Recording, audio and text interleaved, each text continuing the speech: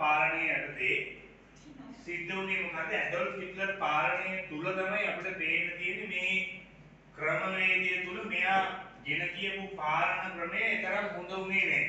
මෙන්න මේ හේතුව නිසා මේ ඇඩොල්ෆ් හිට්ලර් පාලනය අවුල් වෙච්ච නිසා මේ රටේ හිටපු මිනිස්සු වෙනත් රටකට එහෙම නැත්නම් ඇමරිකාවට ගියා. මේ ඇමරිකාවට ගියත් එක්ක සිදු වෙන්නේ මොකද්ද?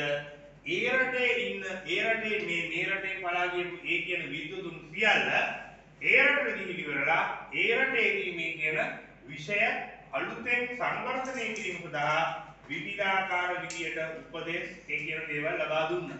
ඒකේ ප්‍රතිඵලයක් විදියට මෙන්න මේ කියන රටේ විවිධාකාර දේවල් ඇති වුණා. ඉතින් මේ හේතු නිසා මේ කියන ඇමරිකාව කේන්ද්‍ර කරගෙන වෙනම උසස් විෂය ධාරාවක් විදියට මෙන්න මේ විෂය ආරම්භ වුණා.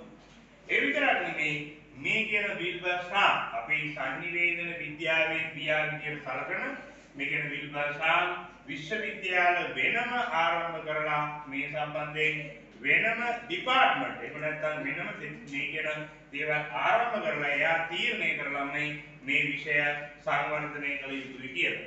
ඉතින් මේ හේතු නිසා විල්බර් ෂාම් ඒ විතරක් නෙවෙයි විශ්වවිද්‍යාල වලට විතරක් නෙවෙයි එයින් පස්සේ විවිධාකාර විදියට විවිධාකාර පාසල් වලට ඇත්තටම කිව්වොත් එක වසරේ සිට පාසලෙන් පිටමන් වෙනකම්ම දිගටම මේ විෂය මේ කියන තැන්වල මේ විෂය අත්‍යවශ්‍යයෙන්ම තිබිය යුතුයි කියලා තීරණය කරා. ඉතින් ඒකේ ප්‍රතිඵලයක් විදියට තමයි මේ සංනිවේදනය හා මාධ්‍ය අධ්‍යයනයේ කියන දේ නිශ්චිත වශයෙන් ආයතනගත වෙලා අපිට මේ විදිහට ලැබෙන්නේ. ඉතින් ඒකේ තමයි මේ විෂය ක්‍රමානුකූලව ඉදිරියට අපිට ලැබෙන්න පටන් ගන්න.